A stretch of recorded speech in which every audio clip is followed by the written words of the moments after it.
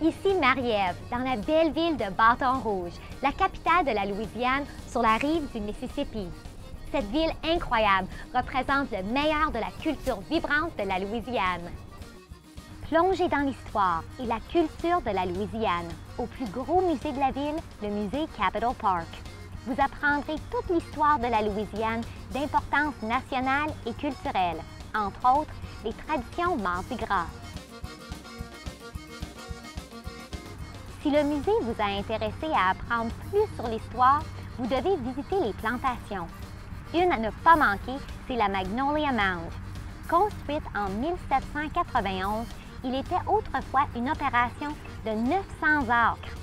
Cette restauration renferme une collection de meubles et d'art décoratifs de la période coloniale des créoles français.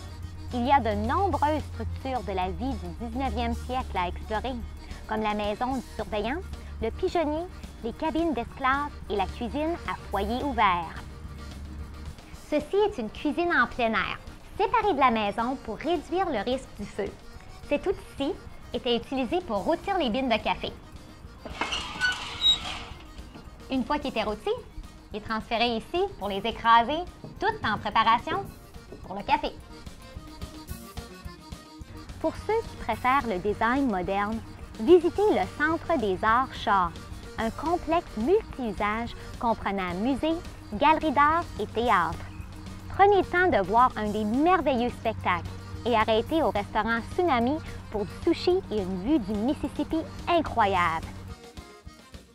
Si vous aimez tout ce qui est de la Louisiane et l'art et l'histoire, ceci est votre destination idéale. Go BR et venez visiter Bâton Rouge en Louisiane.